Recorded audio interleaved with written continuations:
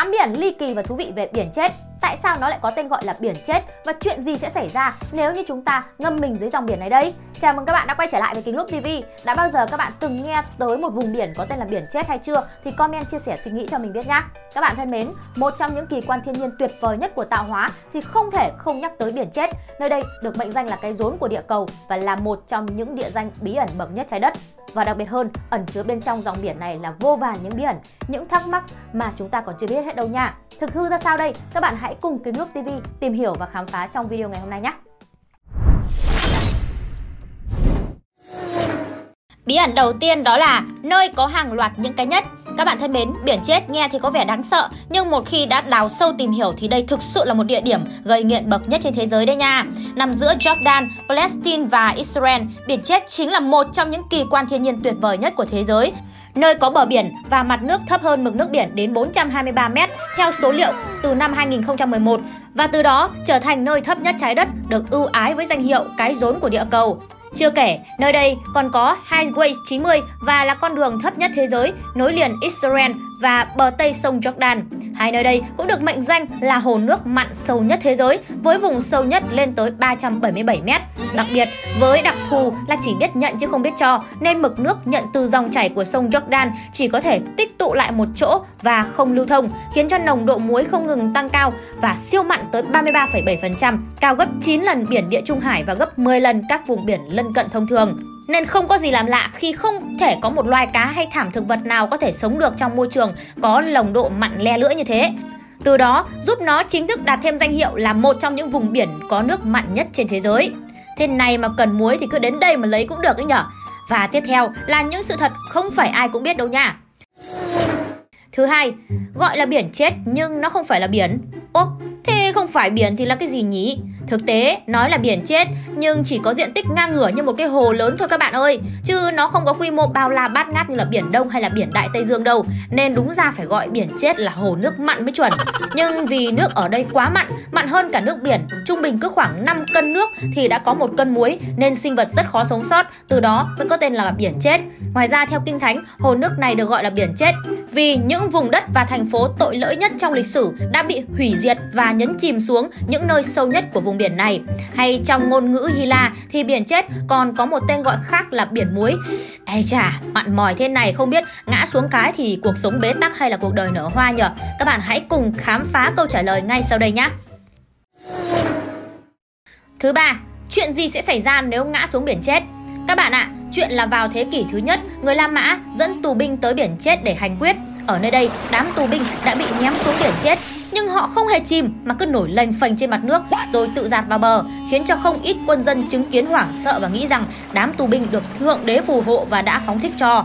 Nhưng thực sự thì có thể số mấy anh lính này là vẫn còn đỏ Hoặc là được tổ tiên phù hộ hay là thần chết ngủ quên Thì cũng có thể lắm chứ Nhưng mà ngoài ra còn có một lý do như mình đã nói đó là với nồng độ muối siêu mặn mòi 33,7%, cao gấp 9 lần địa Trung Hải thì đã kéo tỷ trọng của nước biển chết cao hơn cả tỷ trọng của cơ thể. Và đây chính là lý do tại sao mà một người có thể nổi lên bề mặt lênh đênh như là gỗ Do đó, dù bạn có mới tập bơi hay là chả thèm biết bơi đi chăng nữa thì cứ tự tin mà ra tắm thoải mái, cũng không lo chết đuối đâu nha. Đảm bảo là dù ở tư thế nào, từ năm ngửa, đọc báo hay đủ các tư thế các kiểu con đà điểu thì hàm lượng muối cao của biển chết cũng sẽ làm bạn tự nổi lên thôi. Thú vị ghê chứ.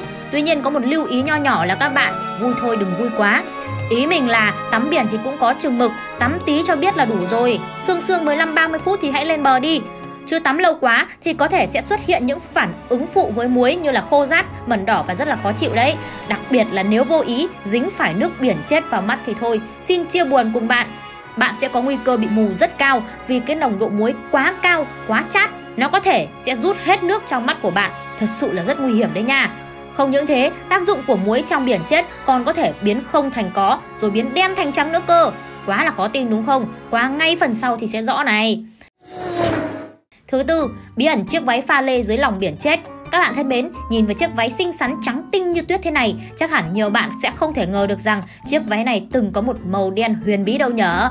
Và để có được màn biến hình ngoạn mục như thế này, nghệ sĩ người Do Thái Sigalis Landor đã phải kỳ công thực hiện tới 2 năm luôn và được biết, chiếc váy này là nhân vật chính trong dự án Shaw Bright hay còn gọi là Cô dâu muối, được lấy cảm hứng từ vở kịch nổi tiếng của tác giả S. Anki, có tên The Debug, và sản xuất vào năm 1916 kể về một người phụ nữ từng bị ám ảnh bởi linh hồn của người yêu đã chết. Và chiếc váy nạm muối của nghệ sĩ Landor chính là một bản sao của chiếc áo choàng tuyệt đẹp từng xuất hiện trong vở kịch này. Nó được cố định phong dáng và thả sâu xuống dưới biển chết vào năm 2014 và từ những thay đổi kỳ lạ lần lượt xuất hiện, chiếc váy dần dần biến thành màu trắng đến khi vớt lên hẳn mặt nước sau 2 năm bị chôn dưới đáy sâu thì wow, trông thật là lộng lẫy, cứ như là vừa được gắn hàng trăm nghìn viên pha lê lên vậy, đẹp xuất sắc luôn. Và hiện tại thì chiếc váy muối có 102 này cùng quá trình nó được hình thành đang được trưng bày ở Bảo tàng nghệ thuật đương đại Marlborough, London của Anh. Và tiếp theo là một địa danh vô cùng độc đáo mà các bạn nhất định không được bỏ qua nếu ghé thăm biển chết đâu nha. Thứ năm, đảo muối bồng bềnh như mơ. Các bạn thân mến, nếu như ở biển đỏ, Maldives hay Côn Đảo đều nổi tiếng với những dạng san hô đẹp ngây ngất lòng người, thì ở biển chết, hình ảnh những tinh thể kết tinh thành những hình dáng kỳ lạ mới là điểm thú vị nhất khi đến nơi đây. Điển hình đó là những hòn đảo nhỏ, sáng chói, được bao quanh bởi một vùng nước màu ngọc lam tuyệt đẹp. Đặc biệt, chúng được tạo nên từ 100% muối trắng và du khách hoàn toàn có thể tản bộ để thưởng thức cảm giác lênh đênh giữa biển rộng bao la như thế này. Check-in sống ảo chán chê rồi thì đừng quên ghé thăm hòn đảo muối nổi tiếng nhất biển chết này. Nơi đây có duy nhất một cái cây mọc cô đơn trên đảo muối. Mà các bạn thì biết rồi đấy, cây thì phải mọc được ở dưới đất đúng không? Thế mà ở biển chết lại kỳ lạ mọc lên được một cái cây như vậy. Và rồi thì biển chết nổi tiếng khắp hành tinh là siêu mặn. Vùng nước này không cho phép sự tồn tại của bất kỳ loài động vật hay thực vật nào. Vì thế gần như không thể giải thích nổi vì sao trên đảo muối lại mọc được một cái cây như thế luôn. Bởi vậy, người ta đưa ra nghi vấn đó là khả năng thì cái cây này được chăm sóc bởi một người đàn ông địa phương nào đó và ông ta có thể đã đến thăm cái cây này mỗi ngày rồi đắp bùn xung quanh gốc để nó có thể đảm bảo rằng sẽ nhận được tất cả những dưỡng chất cần thiết để tồn tại. Nói thật chứ sống giữa vùng biển toàn muối là muối thế kia Không chăm sóc cẩn thận thì có mà ngỏm củ tỏi thật đấy chứ. Tuy nhiên thì nhiều muối đôi khi không hẳn là xấu đâu các bạn ạ. Dù nơi đây động vật hay thực vật rất khó để sống nổi Nhưng đối với con người thì vùng biển mặn mò này lại có khá là nhiều lợi ích đây nha. Thậm chí có thể chữa bệnh này Giải quyết khá nhiều một số vấn đề về da hiệu quả nữa đấy. Thực hư ra sao? Hãy khám phá ngay phần tiếp theo sẽ rõ Thứ sáu, biển chết là một trung tâm chữa bệnh. Thật vậy, dù mang trong mình cái tên chết chóc nhưng thực tế, biển chết lại giúp chúng ta điều trị khá khá bệnh luôn. Và theo nghiên cứu, ngoài muối thì nước biển còn có chứa rất nhiều các loại khoáng chất có lợi như là canxi, iốt, muối, kali, brom và lưu huỳnh. Cộng thêm lượng tia UV trong nắng ở biển chết rất thấp, áp suất không khí cao nên khi tắm có thể giúp du khách giải quyết dứt điểm những cái bệnh như là vẩy nến, mụn nhọt hay là giúp giảm căng thẳng, điều trị đau cơ, viêm xoang và viêm khớp. Không những thế, biển chết còn là spa miễn phí lớn nhất trên trái đất do sở hữu một nguồn tài nguyên vô cùng quý hiếm, không vùng biển nào có được, đó chính là bùn khoáng. Bùn khoáng này có chứa 21 khoáng chất và nhiều thành tố giúp cải thiện vấn đề về lão hóa, nuôi dưỡng làn da khỏe đẹp. Chẳng vậy mà da của nữ hoàng Ai Cập cổ đại Cleopatra ngày xưa cứ mướt mượt mượt, sáng trắng, mềm như da em bé. Bí quyết là sáng tắm ở biển chết, tối về đắp bùn khoáng dưỡng da đi các bạn ơi. Đúng là không có người phụ nữ xấu, chỉ có những người phụ nữ lười làm đẹp thôi các bạn nhỏ. Như mình đây này, mua được cái hũ đất sét về để đắp mặt nhưng mà đắp được hẳn hai lần rồi để đấy từ đó đến giờ chưa động lại lần nào từ lúc mua đến giờ chắc cũng phải được nửa năm rồi ấy và ngoài ra dành cho những ai chưa biết thì biển chết còn sản sinh ra rất nhiều nhựa đường và các chất nhựa đường này còn từng được người Ai Cập dùng trong quy trình ướp xác đầy ma mị và bí ẩn đấy nha. Và ngay bây giờ sẽ là một bí ẩn mang tính lịch sử của cả thế giới luôn. Đừng rời mắt khỏi màn hình các bạn nha. Thứ bảy, bí ẩn cuộn giấy cổ đại các bạn thân mến, với lịch sử hơn 3,7 triệu năm, bất kỳ bản thảo hay hóa thạch nào được tìm thấy ở biển chết đều rất quan trọng và cuốn giấy cổ đại sau đây cũng không ngoại lệ. Dựa trên nội dung của những cuốn giấy này, các chuyên gia đã chia chúng thành hai loại, văn bản kinh thánh và văn bản phi kinh thánh.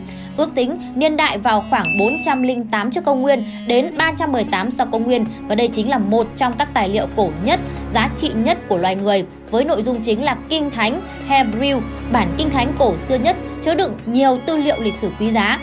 Tất cả đã được bỏ vào vại gốm, chôn giấu trong các hang động để tránh khỏi sự tàn phá của quân La Mã. Tuy nhiên, có một bí ẩn lớn là toàn bộ kinh thánh đều được viết trên giấy da, thứ mà đáng lẽ sẽ tan rã từ lâu nhưng đến nay vẫn còn nguyên vẹn và sau bao nỗ lực các nhà khoa học đã tìm ra thần dược làm nên điều kỳ diệu đó, đó là một hỗn hợp muối bảo quản bí ẩn. Một mảnh từ cuộn văn cổ này chỉ dày 0,1mm đã được soi dưới kính hiển vi bằng cả quang phổ, tia X lẫn Raman và các nhà khoa học đã tìm ra được một hỗn hợp muối bí ẩn với tỷ lệ khác nhau của canxi, natri và lưu huỳnh, thứ mà không thể tìm thấy trong tự nhiên quanh khu vực biển chết. Nước muối bí ẩn này được tẩm vào giấy da để bay hơi, sau đó một lượng nước muối sẽ được cọ sát vào bề mặt giấy để hoàn tất việc tạo ra thứ vật liệu không tan rã sau 2.000 năm và có độ trắng sáng khác thường so với nhiều loại giấy bằng da khác. Vật liệu cơ bản của giấy da này là da động vật được loại bỏ lông và chất béo cẩn thận, sau đó cạo sạch và kéo căng trên khung. Ngoài ra, chữ viết có nội dung trên các văn bản phi kinh thánh cũng có rất nhiều những bí ẩn mang tính lịch sử cao mà đến nay vẫn chưa thể giải mã hoàn toàn. Hiện nay, những cuộn giấy biển chết được lưu trữ trong bảo tàng Shrine of the Books of Jerusalem và nếu bạn nào khao khát khám phá về lịch sử thế giới thì khi nào mà dịch nó hết ý, thì nhớ qua ngay Jerusalem để tìm hiểu thêm nha. Và cuối cùng là một sự thật khá là đáng buồn và báo động về biển chết của chúng ta đấy. Thứ 8. Biển chết sắp chết các bạn ạ, à, mặc dù biển chết là một trong những địa điểm du lịch nổi tiếng nhất nhì của Israel, nhưng nó đang nhanh chóng bị thu hẹp khi lượng nước ngày càng tăng từ các con sông suối chảy vào hồ và được sử dụng trong nông nghiệp, khai thác mỏ và công nghiệp. Diện tích bề mặt của biển chết giảm hơn 1 mét mỗi năm và nó chỉ bằng một nửa chiều dài so với cách đây một thế kỷ. Ngoài ra, các nhà nghiên cứu còn cho rằng dù con người không can thiệp, biển chết vẫn có thể biến mất. Thậm chí, người ta còn từng phát hiện Khoảng 1.200 năm trước, biển chết từng khô cạn hoàn toàn và chỉ còn trơ trụi lại lớp muối trên bề mặt. Hiện chưa thể khẳng định được tương lai của biển chết, nhưng cho tới ngày nay thì Jordan và Israel vẫn đang nỗ lực tìm giải pháp để bảo vệ vùng đất đặc biệt này. Các bạn thân mến, vừa rồi chúng ta đã cùng nhau tìm hiểu và khám phá tường tận những bí ẩn vô cùng ly kỳ, bất ngờ và không kém phần thú vị ẩn chứa bên trong vùng biển mang tên biển chết. Và các bạn cảm thấy ấn tượng với sự thật nào nhất thì đừng quên comment bày tỏ quan điểm và suy nghĩ cho mình biết nhé. Nếu thích video thì hãy dành tặng cho Kính Lúc TV một like, đồng thời đăng ký kênh để luôn là người đầu tiên theo dõi những video hay và mới nhất từ Kính Lúc mỗi ngày. Cảm ơn các bạn đã đón xem video và bây giờ thì xin chào và hẹn gặp lại trong những chương trình lần sau.